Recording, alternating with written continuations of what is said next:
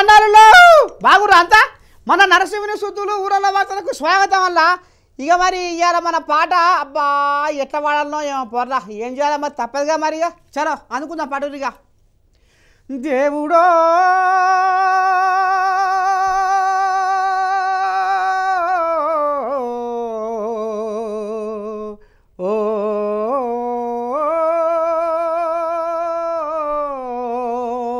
అయ్యయ్యో ఈ పోరు పాడుగాను. నిండు ప్రాణాన్ని నిలువున తీసింది అయ్యయ్యో ఈ పోను పాడుగాను. నిండు ప్రాణాన్ని నిలువున తీసింది అయ్యయ్యో ఈ పోను పాడుగాను. స్మార్ట్ ఫోను మీద మన్ను వయ్యా. సక్కదానాల బిడ్డ నాగం చేసే స్మార్ట్ ఫోను మీద మన్ను వయ్యా. సక్కదానాల బిడ్డ నాగం చేసే స్మార్ట్ ఫోను మీద మన్ను వయ్యా. పాన వచ్చిందిరా ఈ పోను పాడైపోను. పాపము పరశాల పెట్టిందిరా ఈ కుటుంబాన్నంతా అయ్యో రామచంద్ర ఈ పోను చల్లగుండా న్యాలంగా ఓ బిడ్డను పుట్టన పెట్టుకుందల్లా. ఇక ఆ పోను సంగతి ఏందో వివరంగా చెప్తా కానీ మొదలు పెడతాం మన సుద్దులు. ముందుగా పెద్ద వార్తలు రావు పెదాయి తుఫాన్తో ఆగం తెలుగు రాష్ట్రాల్లో జనాలు అస్తవ్యస్తం. సెల్లు పోను పెట్టింది కయ్యం. అన్యాయంగా వాయే బిడ్డ పానం. పెదాయి తుఫాను వచ్చింది పండిన పంటలను ముంచింది. మళ్ళా వేసిండు వేసాం ఇంతవరకు బగ్గ చూసినాం. ఆ చలో ఇక రారి చెప్పుకుందాం రారి మన శుద్ధులు.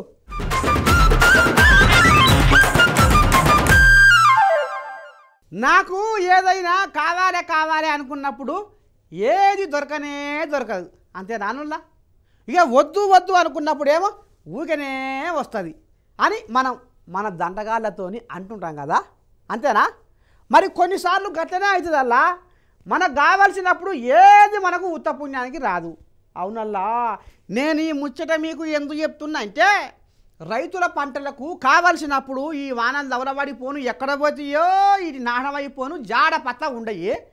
పంట చేతికొచ్చి అమ్ముకుందామని. అయ్యో రైతన్న నోటికాడికి వచ్చిన పంటను అమ్ముకుందామనేసరికి ఈ వానలు నాశనం అయిపోను ఈ వానల గత్తర పుట్ట రైతన్నలను వేగ వాగం పట్టిస్తే అలా.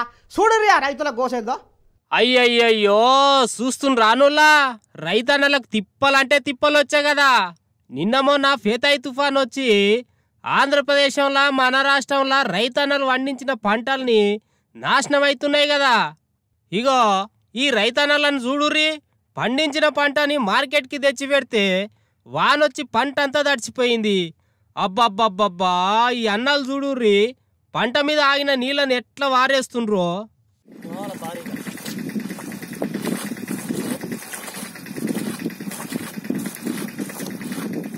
ఇగో నేలకొండపల్లి మార్కెట్లో అయితే రైతన్నలు పంట నమ్మనీకే తీసుకుపోయి పెడితే వానొచ్చి పంటనంతా తడిపి పెట్టింది అయ్యో పాపం. ఆరుగాలం కష్టపడి పండించిన పంటకు వానదేవుడు వచ్చి నష్టం చేసే కదరా దేవుడా అని రైతన్నలు దీర్ఘాలు తీసి దుఃఖ పెడుతుర్రు ఇక మా ధాన్యాన్ని సర్కారు కొని ఆదుకోవాలని రైతన్నలు కోరుతున్నారు. కాట్ వచ్చి సర్లే అని చెప్పేసి అటు ఇటు కాసుకొచ్చి మార్కెట్లో పోసి అమ్ముదామంటే సహకారులు తాలు తప్పుందని చెప్పేసి ఇబ్బంది పెట్టి ఈ మధ్యనే తూర్పాలు కూడా పోయటం జరిగింది. తూర్పాలు పోసే సమయంలోనే ఇంట్లోకి వాన వచ్చేసి వా- వడ్ల కింద మొత్తం నీళ్ళు పడేసి ఇబ్బందులకరం అవుతుంది తొందరగా గవర్నమెంట్ చర్య తీసుకొని ఇటువంటి ధాన్యాలు కొనుగోలు చేయాలని చెప్పేసి నేను ప్రభుత్వాన్ని కోరుకుంటున్నాను ఎంతో కష్ట నష్టాలకు వచ్చి దోమకాటుగా పడి మొత్తం ఆగమైపోయినాయి. మిషన్లు కూడా ఒక ఎకరం వైపు సుమారుగా ఐదు వేలు ఖర్చు వచ్చింది. ఇంత ప్రయాసపడి ఈ ధాన్యాన్ని తీసుకొస్తే ఇక్కడ కొనే నాదుడు లేడు. తక్షణం ప్రభుత్వం రైతుల బాధలను గుర్తించి ఇక్కడ సెంటర్ ఓపెన్ చేసి తక్షణం కొనుగోలు చేయాలని మేము నేలకొండపల్లి మండల రైతుల నుంచి మరి నేలకొండపల్లి నుంచి కూడా మార్కెట్ యార్డ్లో ఉన్నాయి వడ్లు తక్షణం కొనుగోలు చేయాలి. మార్కెట్ వారు అన్ని సౌకర్యాలు అయితే కల్పించారు. కానీ సెంటర్ లేక రైతులు నష్టపోతున్నాం. తక్షణం కొనుగోలు చేయాలని కోరుతున్నాం. ఇక ఈడు ఇట్లుంటే సత్తుపల్లి కాడ చూడుర్రి వానెట్లా కురిసిందో రైతులు పంటను కోసిపెట్టిర్రు. వానొచ్చి ఇలా పంటల్ని పొట్టన పెట్టుకున్నది. రెండు రాష్ట్రాలలో ఈ పెదాయి తుఫాన్తోన జనాలు రైతులు గోస గోస పడుతుర్రు ఓ రైతన్నలు మీ పంటలను జర వర్షానికి తడవకుండా జాగ్రత్తగా కప్పిపెట్టండి. లేకుంటే మీ పంట కూడా ఇట్లనే తడిస్తే మీరే నష్టపోయేది. జర జాగ్రత్త రైతన్నలు.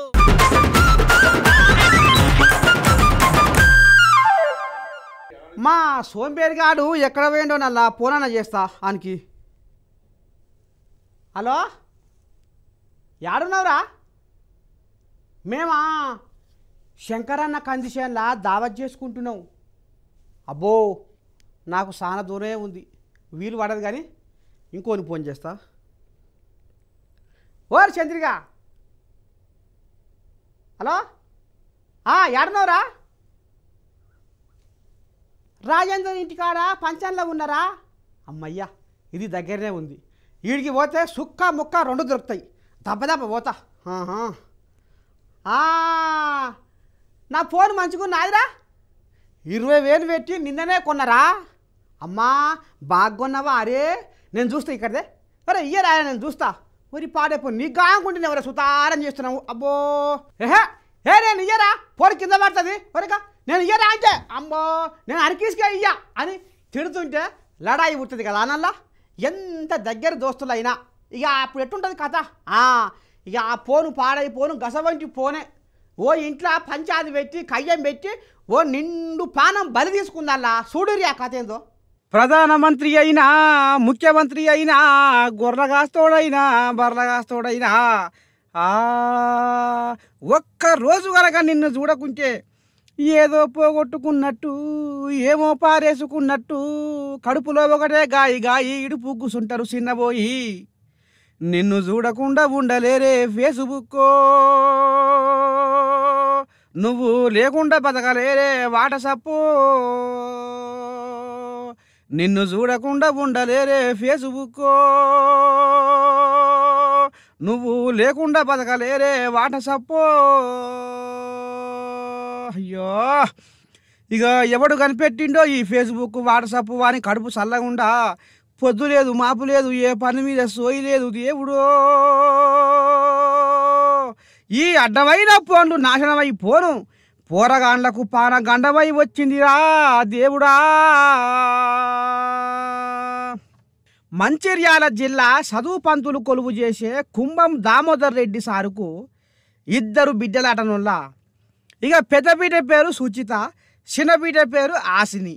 ఇక అయితే ఈ పోరగాళ్ళు చల్లకుండా ఆ ఫోన్లల్ల బొమ్మలు నేనే చూడాలంటే నేనే చూడాలని లడాయి పెట్టుకుంటుర్రాట ఈ అక్క చెల్లె ఇక ఈ ముచ్చట సడిగన్నా వాళ్ళ నాయన ఓరి పాడైపోను ఏం చూర్రా ఒక్కటే కయ్యే కయ్యే నొలిపెడుతుర్రు ఆ? అని దబాయించి నీ పోను పాడైపోను పక్కకు పెట్టురే రేపో మాపో పరీక్షలు దగ్గరికి వస్తున్నాయి అని మందలించిండాట నుల్లా తండ్రి. ఇక గీంత దానికి పెద్ద బిడ్డ సుచిత అలిగి బయటికి వెళ్ళిపోయిందట ఓని పాడైపోను పోయి పోయి పోయి పోయి రైలు పట్టాల కింద పడి అన్యాలంగా జీవించిందట బిడ్డ. బిడ్డ ఎటు వాయే ఎక్కడ వాయే అని ఊరంతా గాలిస్తే రైలు పట్టాల కాడ సచ్చి శవమై కనిపించిందట. అయ్యో బిడ్డ ఫోన్ చేయబట్టికే ఉచితార్థంగా పానం తీసుకున్నావా బిడ్డ అని ఊరోళ్ళంతా కాకి శోకం పెట్టిరట చూసిర్రా అమ్మ? ఆడుకుంటానంటే ఫోను ఇయ్యని ఒట్టానికి సావుకే తెగించింది ఈ బిడ్డ. ఏమోనల్లా ఈ కాలం పిల్లలతోటి ఎట్ట తట్టుకోవాలనో ఏం పాడో పో. పదిహేను చదివే బిడ్డ ఉచితార్థంగా పానం తీసుకునే ఊరికనే పాయే. అయ్యో! అబ్బా అబ్బా అబ్బా అబ్బా అబ్బా అబ్బా అబ్బా. మా రవిగానికి బాలకృష్ణ వేషం వేస్తే అబ్బా ఎంత ముద్దుగా ఉంటుందో సూపర్గా ఉంటాడు పో. ఏహే మా అనిల్ గారికి మహేష్ బాబు వేషం వేస్తే నీ దండం పెడితే ఓ సూపర్గా మస్తుగా ఉంటాడు పో అని మనం అంటుంటాం కదా. మరి ఇవన్నీ ఎందుకు అంటుంటాం వల్ల గా వేషాలల్లా వాళ్ళు మంచిగా ముద్దు కొడతారు కాబట్టి అంటుంటాం కదా. కానీ కొంతమందికి మాత్రము అన్ని వేషాలు సూపర్ అంటే సూపర్ పో. మరి నేను సారుని చూపుతా చూడుర్రి. ఈ సారు కూడా అన్ని వేషాలు మంచిగా అబ్బుతాయి అల్లా మంచిగా కొడతాయి. ఇక మరి ఆ మాత్రము తన కోసం వేస్తారేడల్లా ఎవరి కోసం వేస్తుండు? దేనికోసం వేస్తుండు? మరి ఆ కథ ఏందో ఆ కార్ఖాన ఏందో చూడురి హో హో సార్ను చూస్తూ రానుల్లా? దినాందినమో కొత్తేశంలో మన శుద్ధులలా కాస్తుండు. మరి సార్ ఎవరో గుర్తుపట్టిన రానుల్లా? ఓ సారి చూపుతో చూడుర్రి. చూసి గుర్తుపట్టుర్రి జరా. ఓయమ్మా మీరు మొన్న గుర్తుపట్టలేదు ఇప్పుడు కూడా గుర్తుపట్టలేదు. సరే నేనే చెప్తాలే. ఎంపీ శివప్రసాద్ సారులా అదే ఆంధ్రప్రదేశ్కు ప్రత్యేక హోదా ఇయ్యాలని చెప్పి పార్లమెంట్ కాడ ఈసారి ఛత్రపతి శివాజీ వేషం వేసుకొచ్చిండు. ఛత్రపతి శివాజీ మాకు ఆదర్శం అని చెప్పుకుంటూ వారి బొమ్మలు వేసుకుని ఊరేగుతూ ఉంటారు. కానీ ఛత్రపతి శివాజీ గారి ఆదర్శాలు మాత్రం మర్చిపోయారు వాళ్ళు. నాయకుని లక్షణాలు పోగొట్టుకుంటున్నారు. పాఠ్యాంశాలలో చదివి ఎంతో మంది ప్రేరణకు వచ్చి నాయకులు అవుతున్నారు కానీ మోడీ ఛత్రపతి శివాజీ గారి పేరు చెప్పుకుంటాడు కానీ ఆయన ఆశయాలు నెరవేర్చడం లేదు. ఇక ఊకుంటాడు అనుల్లా ప్రధాని మోడీ సార్ మీద కోపం అంటే కోపం అయిండిపో మహిళలు రైతులు అన్ని సామాజిక వర్గాలను శివాజీ ఆరాధిస్తే మోడీ మాత్రం మహిళల వస్తువులను సుత ఎత్తుకుపోయేటట్లు చేస్తున్నాడని గుస్స గుస్స అయ్యిండు. ఇక శివాజీ గురువులను గౌరవిస్తే మోడీ మాత్రం అద్వాని లాంటి గురువుని అవమానపరిచేటట్లు చేస్తున్నాడని పంచులు కూడా వేసిండోళ్ళు గురుభక్తిలో నెంబర్ వన్ గురువులు అంటే అంత ప్రామినెన్స్ ఇచ్చేవాడు. మన మన మోడీ తన గురువు ప్రసంగిస్తుంటే మైక్ సెట్ పట్టుకొని వెనక నిలబడిన అతను ఈరోజు ప్రధానమంత్రి అయిన తర్వాత అదే గురువు నమస్కరిస్తుంటే చూసి చూడనట్టుగా వెళ్ళిపోయినటువంటి చరిత్రహీనుడు మోడీ. అందుకే మోడీ పతనం ప్రారంభమైంది. ఆంధ్రప్రదేశ్కి ప్రత్యేక హోదా ఇస్తానన్నాడు. వెంకన్న సాక్షిగా చెప్పాడు. విభజన హామీలు నెరవేర్స్తానన్నాడు. ఏది చేయలేదు. చంద్రబాబు నాయుడుతో వైరం పెట్టుకున్నాడు. చంద్రబాబుతో వైరం పెట్టుకున్న వాళ్ళు ఎవరు కూడా మిగలరు రాజకీయంగా. అందుకే మోడీ పతనం ప్రారంభమైంది. మోడీ పతనం ప్రారంభమైంది. జై తెలుగుదేశం. వా ఇంకా దినం దినం ఏ ఏ వేషాలతోటి ఈసారిను చూడాలో ఏమో పో అని అంటుండ్రు ఇది చూసిన జనాలు.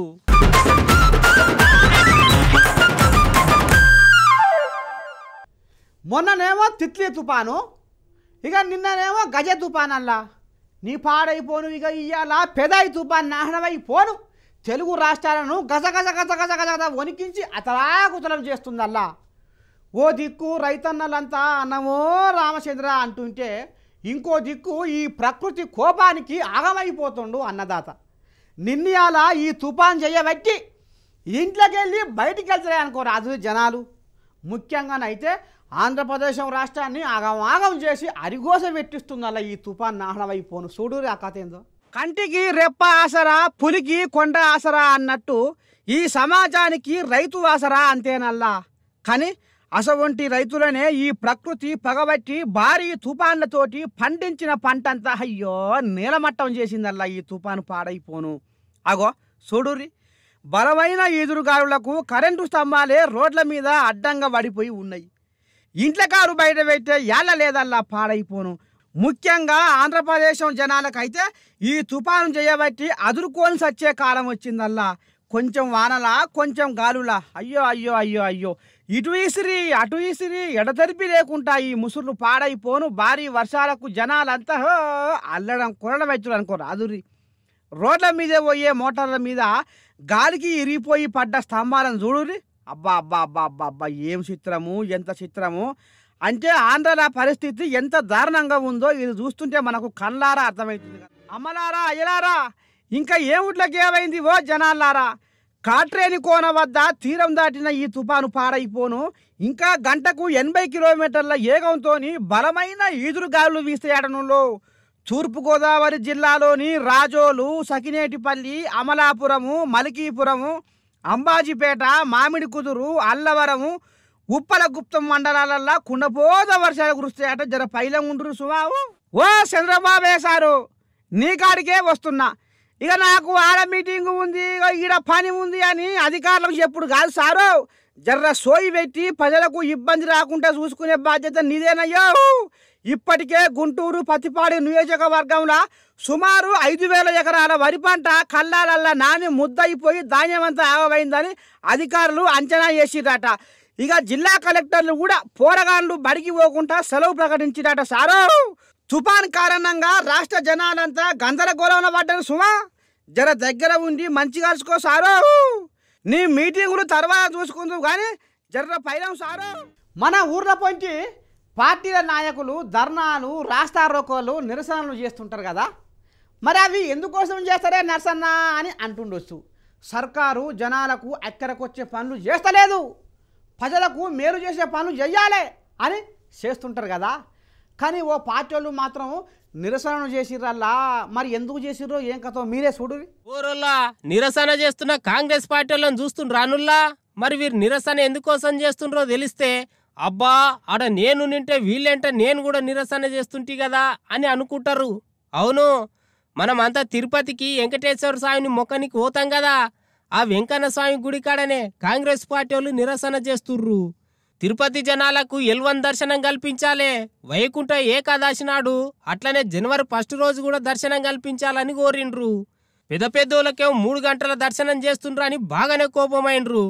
ఓ ఇంకా నెస్సనే చెప్పిండ్రు. నేను చెప్పాను కానీ మీరే ఇన్నుర్రి. విఐపీలకు మూడు గంటల సేపు దర్శనాలు ఇస్తున్నారు. నేను ఒక్క గంట స్థానికులకు ఇవ్వమని డిమాండ్ చేస్తున్నా. ఒక్క గంట. వైకుంఠ ఏకాదశి రోజు ఒక గంట. జనవరి ఫస్ట్ రోజు ఒక గంట. ఇవ్వడం ధర్మం. మరి ఈరోజు అధికారులు ఎవరికి అందుబాటులో ఉండటం లేదు. అందరూ పరిగెత్తి వెళుతున్నారు. విలాసవంతమైన జీవితాలు విలాసవంతమైన కార్లకు అందుబాటులో ఉంటున్నారు వాళ్ళు. ఈరోజు అన్నదానంలో అక్రమాలు జరుగుతున్నాయి. ఏ కాటేజీలో ఏమేం జరుగుతుందో మాకు తెలుసు పూర్తిగా. వెంటనే మరి వాళ్ళు బుట్టలోళ్ళ దగ్గర కూడా డబ్బులు తీస్తున్నారు ముడుపులు తీసుకుంటున్నారు లక్షల రూపాయల్లో. ఈరోజు దానిపైన వెంటనే ఉన్నటువంటి స్థానిక సమస్యలన్నిటిపైన అనిల్ వెంటనే స్పందించాల్సిన అవసరం ఉంది. పరిగెత్తుకొని వెళ్ళిపోతే కాదు మరి స్థానిక సమస్యలను వెంటనే పరిష్కారం చేయాలని నేను డిమాండ్ చేస్తాను. వాయమ్మ దేవుని కాడ కూడా ఇంత అక్రమాలు జరుగుతున్నాయా అని పరిశాన్ అవుతుండ్రు ఇది చూసిన భక్తులు.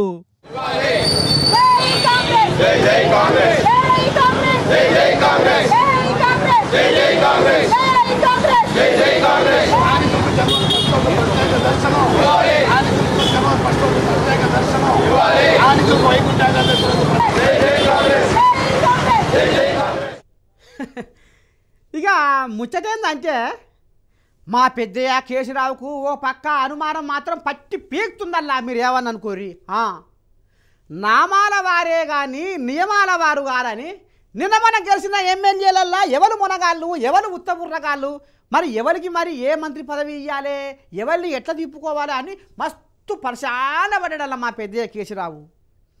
ఇక రాంగపోంగా ఈ నెల ఆఖరి జాలకు కొంతమందికి పదవులు ఇస్తా అని అంటుండు.